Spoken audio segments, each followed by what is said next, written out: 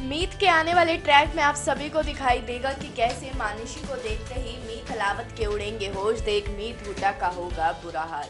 जी हाँ कहानी में आएगा एक नया ट्विस्ट और कहानी बिल्कुल बदल जाएगी। आपको बता दें अपकमिंग ट्रैक के बारे में जहाँ फाइनली मानुषी अब एंटर होने वाली है अहलावत परिवार में। तो वहीं अब ये सब देख कर मीत अहलावत के उड़ने वाले हैं होश।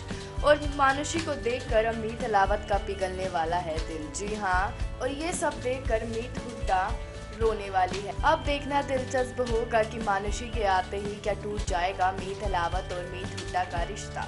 क्या होगा अब आगे शो की कहानी में? हम आपको जल्दी बताएँगे अपनी नेक्स्ट अपडेट में। तो तब तक करें इंतज़ार और बने रहिए हमारे साथ और आज ही हमारे चैनल को सब्सक्राइब करें।